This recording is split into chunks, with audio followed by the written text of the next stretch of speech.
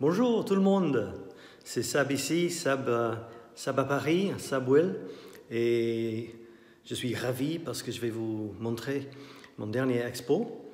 Et, euh, je suis ravi parce que l'espace que j'avais, ça m'a permis de, vous montrer mes tableaux euh, dans ma série Infini Carré et aussi mes dernières photos de Paris.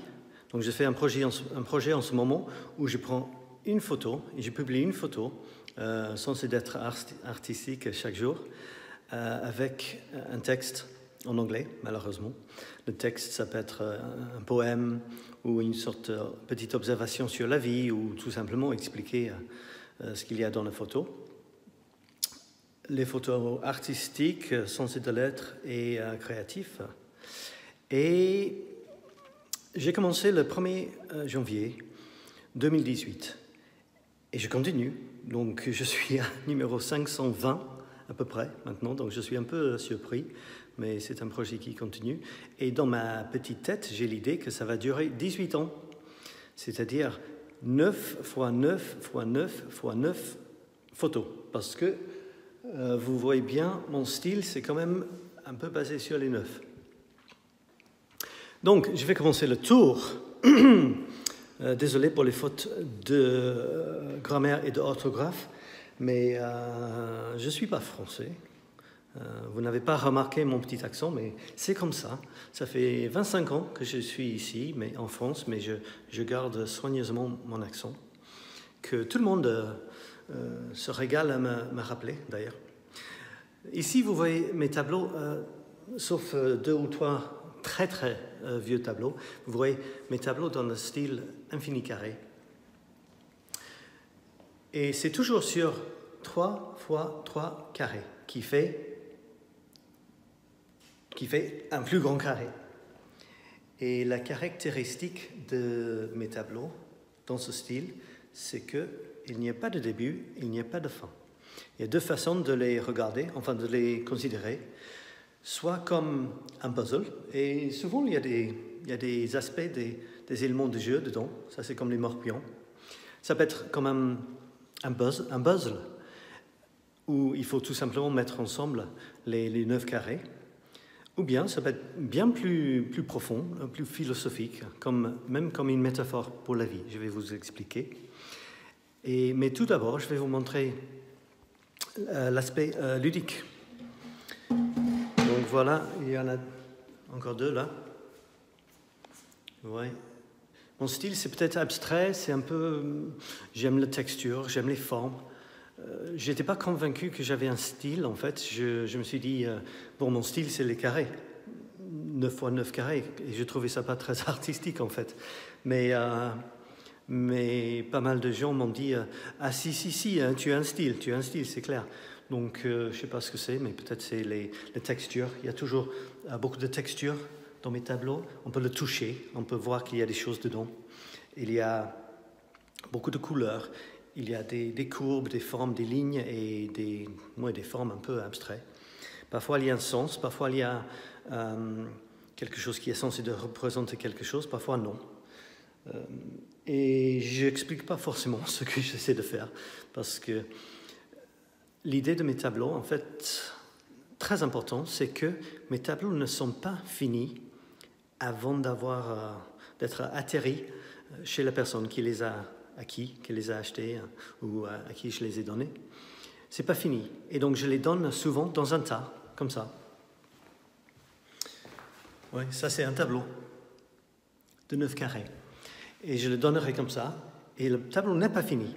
C'est fini uniquement quand la personne l'a construit à leur guise, comme ils veulent. Et justement, ils peuvent le construire euh, différemment tous les jours parce que les carrés ne sont pas fixes. Regarde, là, il y a on peut voir euh, une forme un peu étrange. Et là, il y a une forme qui est un peu coupée, qui sort du cadre un peu. Ça, c'est une possibilité de le mettre ensemble. En fait, il y a une, un infini, un infini carré de, possibilités. Il n'y a pas de forme correcte ou Bah, je vais vous montrer. Donc là, on va déconstruire euh, cette forme-là en bougeant les, les carrés. Je vais essayer de faire en sorte que vous voyez ce que je fais. Ça va là. Ça, je vais mettre là. Donc, je suis en train de détruire la forme centrale que vous avez vue. Et je vais faire comme ça.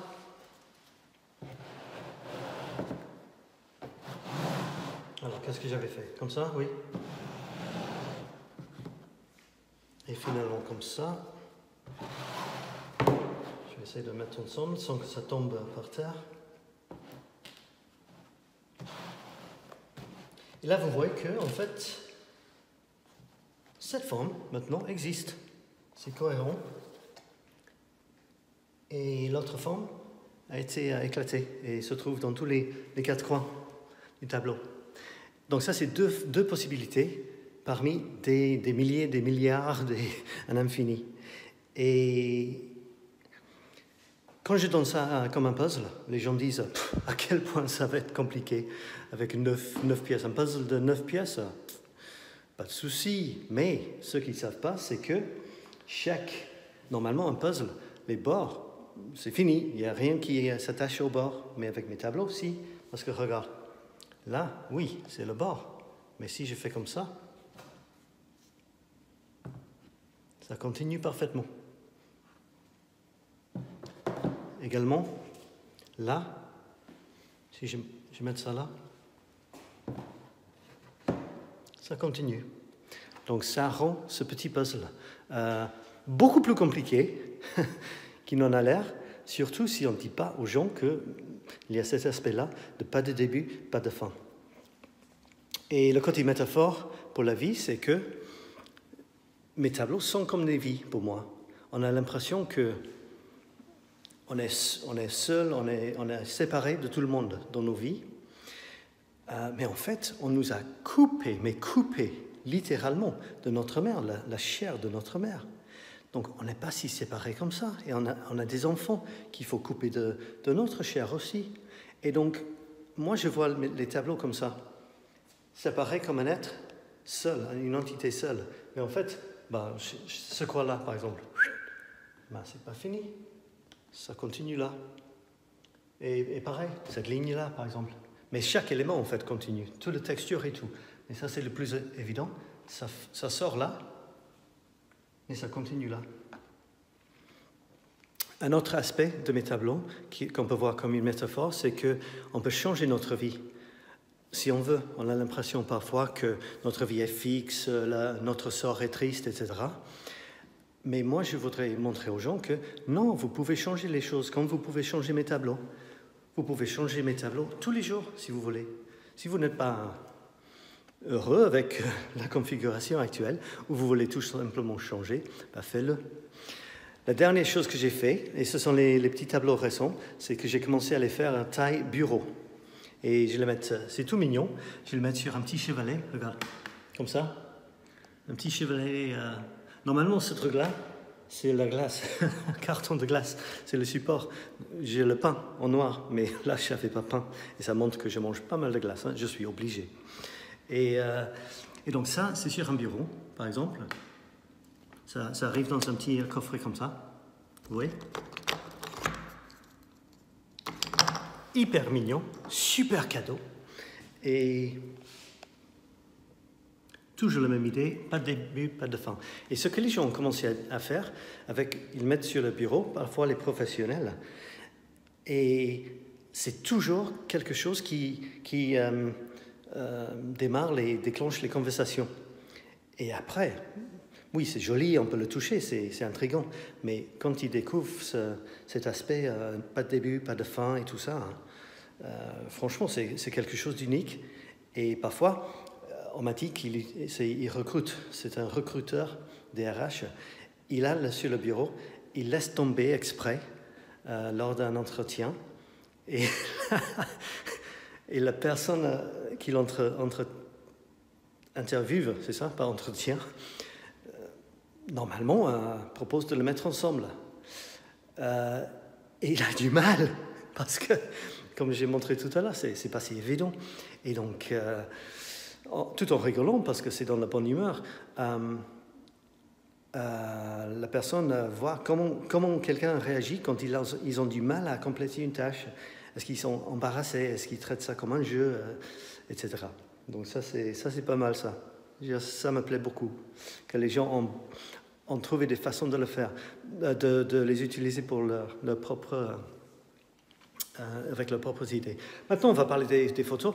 Normalement, cette vidéo euh, va être 20 euh, minutes. J'ai déjà fait en, anglais, donc mon bras commence à être vraiment fatigué. On va voir si je tiens le coup. La lumière, c'est pas naturel, désolé.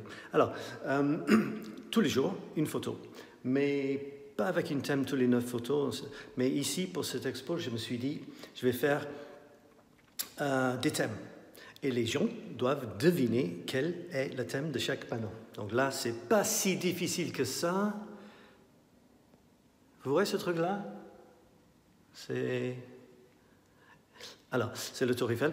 Et euh, mon challenge, créativement, avec un truc comme la Tour Eiffel, c'est peut-être le truc le plus, plus photographié du monde. Mon challenge, c'est de ne jamais publier une photo de la Tour Eiffel, de ma muse, qui ressemble à un autre. Le prochain panneau, c'est sur la musique. Les, instances de la musique que j'ai trouvées à Paris. Quelqu'un qui joue la guitare et chante euh, sous les, arches du Louvre. Ça, c'est un cornemuse. Quelqu'un qui joue le cornemuse. Quand j'ai entendu ça dans le quartier latin, waouh, je devais aller le voir parce que je suis écossais, je suis né en Écosse. Même si c'est un peu irlandais, la cornemuse, c'est quand même écossais. Hein. Euh, quelqu'un dans la rue qui joue la trompette, parfois les gens qui marchent, c'est assez magique. Des amis qui, des détails, des amis qui jouent, euh, un clocher euh, dans un côté d'une église, les gens dans le métro, le piano que tu peux jouer dans les gares et tout ça. Après, c'est les, les horloges, les horloges de Paris.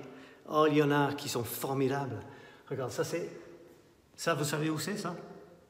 C'est la ancienne, ancienne gare, c'est le musée d'Orsay. Splendide, mais formidable. Et là, c'est en haut, en haut de la, du musée d'Orsay. Et à travers, on peut même voir Sacré-Cœur. Après, l'horloge, la plus ancienne horloge de, Paris, publique. Euh, ça, c'était dans, dans une gare très patriotique et euh, statue un des deux, des deux très jolies statues euh, devant Saint-Lazare. L'autre, c'est des valises. Après, on a les petits boulots. Et c'est fascinant quand on se promène à Paris, on voit les gens en train de, vivre leur vie, de gagner leur vie, parfois mal, je crois. Et euh, il y a une, multitude de, possibilités. Lui, c'est un monsieur avec un crotte mobile, une crotte mobile. C'est la, c'est la, euh, J'allais traduire en anglais, mais non, vous êtes, euh, vous êtes capable de comprendre le français, je confonds. Et donc, il ramasse les crottes de chiens sur les Champs-Élysées. ça, c'est quelqu'un dans les gares, qui nettoie les gares. Ce sont les gens un peu invisibles. On les ignore, on ne les voit pas, c'est très tard, mais sans eux. Ça, c'est une sorte de... les Ghostbusters de, du métro. Ils arrivent, ils donnent un coup de torchon ici, un coup de spray là. C'était pas mal quelqu'un qui, qui monte la petite colline devant le, célèbre cabaret Lapin Gilles pour rentrer à son boulot. Un monsieur qui, depuis des années, il est devant le Sacré-Cœur à faire des petites euh, euh, porte-clés en forme de petits chiens avec les, trucs là. Chaud de marron, chaud de marron. Ils vendent, ils vendent des marrons chaudes euh, sur le pont des Arts. Là, j'adore, j'adore ça. Alors, qu'est-ce qu'il fait, ce monsieur? Eh bien, là, il fait ça. C'est son travail. Alors, imagine l'entretien. Pas besoin, je crois que de mes petits tableaux. Hein. L'entretien. Alors, ils vont regarder la personne euh, assise devant lui, le recruteur, pendant trois minutes. Peut-être il va euh, dire rien pendant trois heures, juste assis là. Et à la fin, il va dire Ok, félicitations, vous avez, je vous prends. Il s'assoit là pendant des heures à rien faire. Ok. Il y a des gens là qui disent, certaines personnes me disent, mais qu'est-ce qu'elles font les, les, femmes là, les filles Elles font rien là, elles, sont en train de travailler. Elles sont pas en train de travailler. C'est à Belleville. des, des petites asiatiques. Et j'ai dit, euh, si, si, elles sont en train de travailler, oui. Bien, bien maquillées. Ce panneau-là, c'est peut-être euh, le panneau qui, qui a suscité le, le plus vive émotion. Je ne sais pas si c'est le bon français ou pas. C'est les gens en difficulté.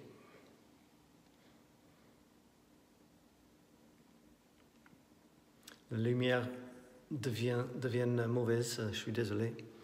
Alors là, mon approche pour mes photos de Paris, je vais à Paris et c'est Paris qui me propose des photos, des images. Et je note, je note euh, ce, que, ce que Paris me dit, me donne. Et souvent, elle me donne des STF ou des gens en difficulté. Et j'essaie de les respecter.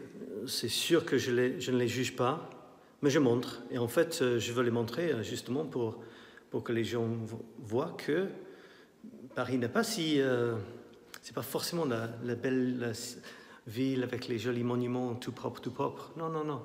Il y a plusieurs réalités euh, à Paris.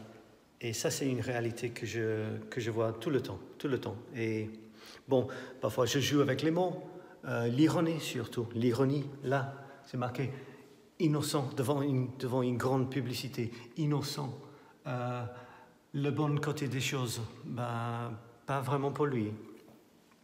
Ça, c'est les autoportraits. Et mes autoportraits, euh, c'est la même chose avec les cubes là. Les, les cubes sont les autoportraits. Et ce projet, j'ai commencé bien avant les selfies. Et ce n'est pas, je dirais, le narcissisme ou l'égoïsme, c'est presque le contraire. Je fais des autoportraits euh, pour trois, raisons. Premièrement, c'est comme avec la Tour Eiffel. Le challenge, c'est d'être créatif, de, de, ne jamais, jamais prendre euh, une, image, une image qui ressemble à un autre. Je joue avec après sur mon téléphone et tout ça, mais il faut commencer avec une, une belle image quand même. Et là, j'insiste dessus. Parfois, les gens ils me disent Ah, c'est bien, tu as utilisé quelle app? Comme si c'est l'app qui a fait la photo.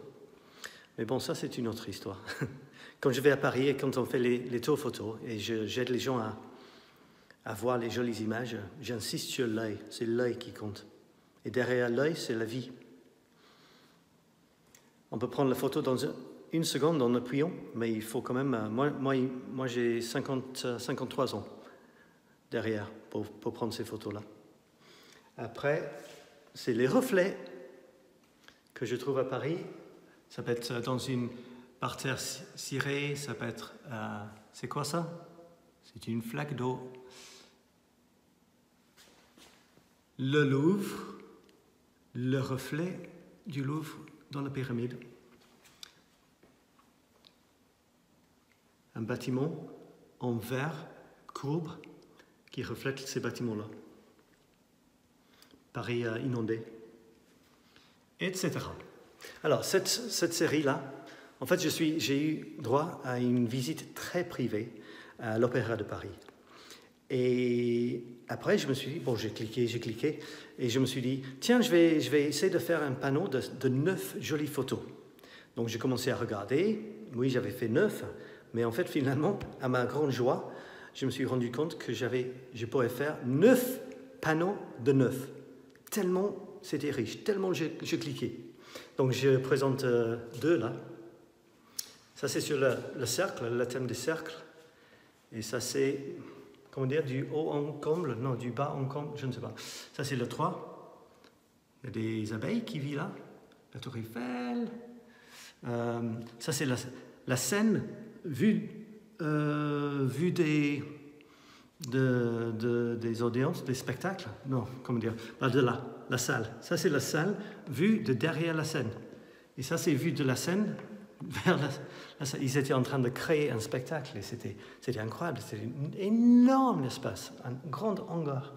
Ça, c'est en bas, ça, c'est en dessous du dôme, mais tout en bas, tout en bas. C'est énorme ce bâtiment. Et ça, cette photo-là, j'ai attendu 25 ans pour prendre cette photo. C'est le lac secret sous l'Opéra de Paris.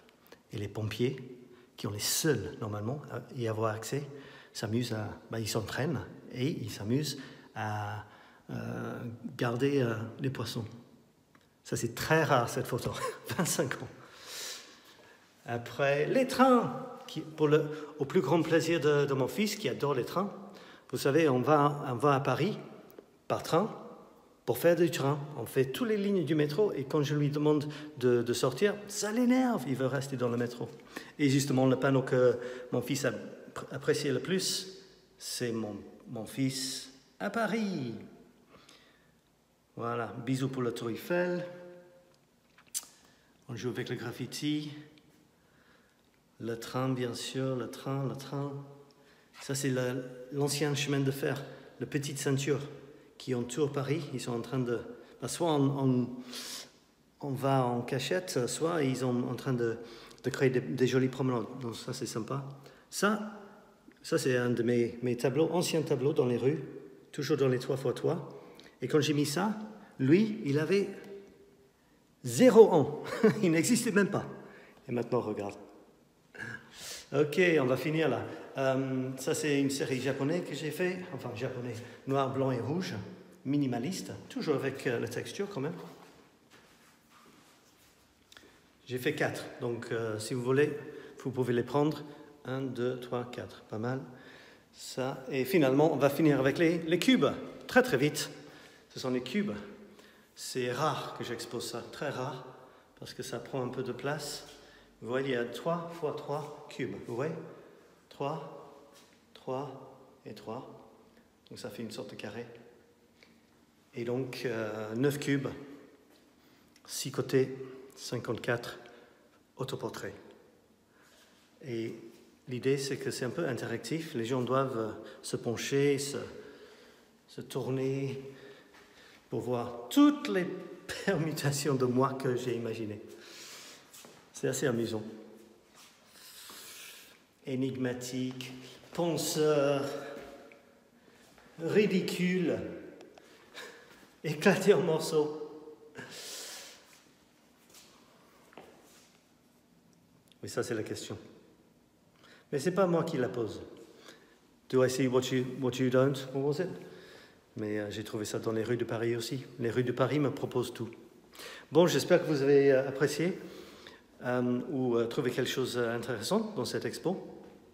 Vous pouvez me suivre sur euh, Facebook, Sab Paris.